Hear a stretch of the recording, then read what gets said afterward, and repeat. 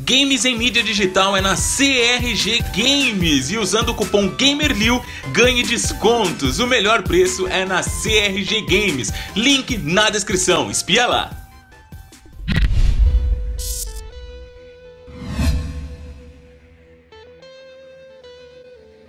Fala fiotes! Eu sou o Kalil e bem-vindos a mais um vídeo aqui no canal e hoje voltamos com Assassin's Creed Odyssey e seus troféus. Mas antes, ritual de gente boa.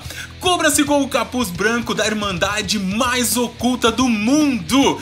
E, vocês sabem, como um gato sorrateiro se esgueirando pelas sombras, assassina o like, meus irmãos, assassina o like. Vocês sabem que isso ajuda demais o nosso trabalho e se já conhece o nosso padrão de qualidade, pra que esperar o vídeo terminar, não é mesmo? Ajuda nós, deixa o seu like aí. Se você ainda não é inscrito do canal, seja muito bem-vindo também. Conheça o nosso conteúdo, dá uma espiada nos vídeos, fica aqui com a gente, acompanhe as lives. Se você gostar, se inscreva! É um prazer que você faça parte dessa família também. O vídeo de hoje está sendo patrocinado pela maninha Monique Costa. Faça como ela, o botão Seja Membro tá aqui embaixo. Clica lá e ajude na linha de frente.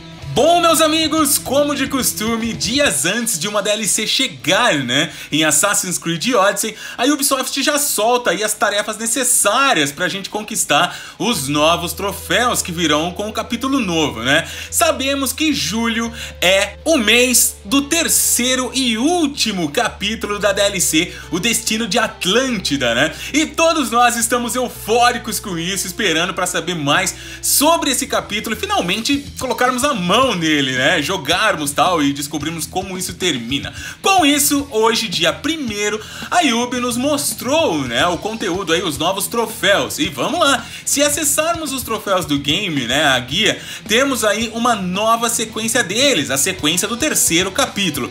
Assim que entramos nela, vemos mais cinco novos troféus. E alguns deles, meu, na boa, me deixaram pirado. Vem comigo! O primeiro dele se chama Seu Próprio Remédio. Mate 10 soldados ISO com um aprimoramento Bênçãos de Cronos. Bom, galera, já é já é de costume, né? Que cada nova DLC conseguimos aí aprimorar habilidades que já temos aí na nossa árvore de habilidades, né? E de cara já dá para perceber que teremos uma de nome Bênção de Cronos. Não faço ideia do que isso faz, né? Mas assim que surgir qualquer imagem tal na internet, eu vou trazer para vocês. Pelo jeito, temos aí que assassinar 10 daqueles soldados, né, que a gente já conhece, os ISOs que aparece, apareceram, né, desde o primeiro capítulo lá, com essa habilidade, meu. Fazendo isso, conseguimos aí o seu próprio remédio. Provavelmente é alguma habilidade que veio dos ISOs, por, por ter esse nome, né? O segundo troféu se chama Linhagem ISO preencha toda a sequência de conhecimento. Bom, galera, isso aí me deixou bem em dúvida, tá ligado? Uh, nós sabemos que Layla, né, ela tá nessa empreitada para conhecer, para entender, para aprimorar, para usar de fato aí o bastão de Hermes. Então não sei se esse troféu linhagem ISO, né, preencha toda a sequência de conhecimento, tem a ver com o bastão. Se realmente aí, uh, depois que conseguirmos desvendar todos os segredos dele em alguma missão específica, teremos esse troféu. Não sei, se vocês tiverem uma ideia diferente, comentem aí também no, no vídeo, que é muito importante a gente trocar essa figurinha. O próximo troféu se chama Reunindo Toda Força. Colete todas as revelações dos Guardiões no episódio 3. Bom, isso aqui eu acredito que complementa ali, né, o primeiro troféu que nós falamos, porque essas revelações dos Guardiões são as tábuas, né, as pedras ali que permitem o aprimoramento de habilidades que nós já temos. Então nós tivemos, se eu não me engano, quatro ou cinco no primeiro capítulo, uh, mais três ou quatro no, no segundo, agora não me lembro, e aqui teremos mais três, meu. Então se preparem que, como já falei agora há pouco, teremos não só uma, mas três novas habilidades para usarmos no jogo. Ansioso? Vocês sabem que eu tô, velho, muito, muito. O próximo troféu, galera, é algo bem interessante. Ele se chama Aprendiz de Hefesto. Forge as três armas lendárias. Galera, quem tá ligado no jogo, quem já tá acompanhando há um tempo, sabe que lá em Andros, né, na ilha de Andros, nós temos aí uma forja antiga e é nela onde nós aprimoramos, né, a lança, né, quebrada aí de Leônidas, que inclusive mostramos ela restaurada recentemente no canal. Se você não viu, o cardzinho tá berrando aqui em cima, vai lá, clique e depois você volta pra cá. Bom, enfim, uh, lá, né, nós vemos que quando chegamos lá pra para melhorar a, a, lança, né, aparece um brilho com ela inteira tal. Então é ali que ela foi forjada. Se olharmos bem, galera, chegando ali, nós não temos só uma forja, nós temos quatro. Nós temos quatro forjas. E quando chegamos perto de cada uma delas, podemos ver a silhueta de armas diferentes, galera. Então, a primeira delas, né, como a gente já viu, é a lança de Leônidas. Tá ali, vocês estão vendo, né? tranquilo. Depois, logo do lado esquerdo, nós temos aí o que me parece um machado, galera. Olha só, é a silhueta de um machado. Provavelmente aqui vamos forjar essa arma. Ao lado dela, temos outra silhueta, o que me parece também uma arma contundente pesada, pode ver. A próxima arma e última, né, é enfim uma espada vemos aí claramente a silhueta de uma espada. Então, galera, essas três armas lendárias que teremos for que forjar, né?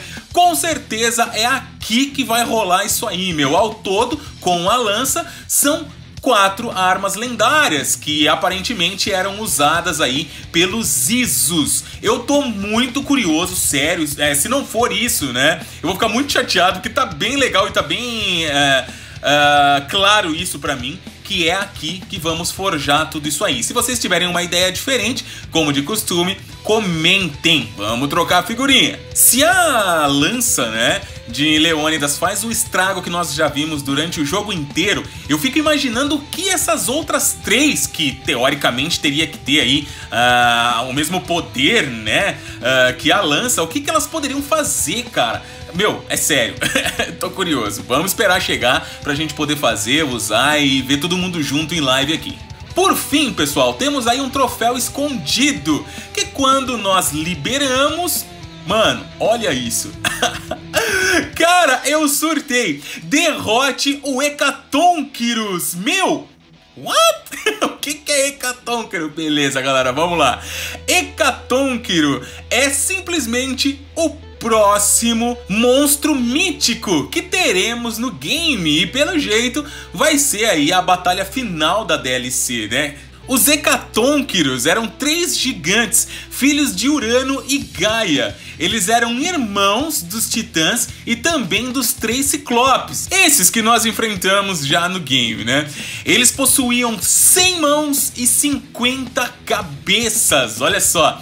Assim que eles nasceram, né? Urano ali ficou aterrorizado pela bizarrice monstruosa das criaturas que ele tinha gerado, né? E escondeu os três nas profundezas do Tártaro Cronos ajudou os Hecatonqueros a escapar para formar uma rebelião contra Urano. Quando Urano foi derrotado, Cronos prendeu os caras de novo no Tártaro. Eles só foram libertados novamente pela Ubisoft para lutar com a Cassandra. Zoeira. Eles só foram libertados outra vez, né? Por Zeus quando Zeus teve que enfrentar os titãs, meu. Com a ajuda dos Hecatonqueros, claro, Zeus venceu e presenteou os três com palácios em profundezas oceânicas. Meu, esse bicho, como vocês podem ver nas imagens aí, realmente são bizarros. E eu tô doente pra ver como será, né, a batalha contra esses malucos. Com certeza veremos isso antes do game chegar em mãos, porque a Ubisoft disponibiliza, né, para os youtubers lá da gringa o, as DLCs antes, e esses caras já apostam aí a batalha. Prometo, Assim que esses caras postar, eu vou trazer aqui, porque eu sei que assim como eu, vocês estão também muito curiosos para saber como vai ser esse bicho agora que vocês viram a aparência deles, né? Então deixa com o Lil. Galera, esses são os troféus, essas são as novidades e eu gostaria muito de saber a opinião de vocês. O que vocês acharam, o que vocês pretendem, o que vocês mais querem fazer, né? O que vocês mais querem conhecer. Eu não vou mentir, o que eu mais quero ver é o Hecatonkiro, espero que seja um só. Se for os três, nossa, vai ser mais foda ainda. E as armas novas, cara, é, é o meu hype, tá? Pra esses dois troféus aí. E eu quero saber a sua também, beleza?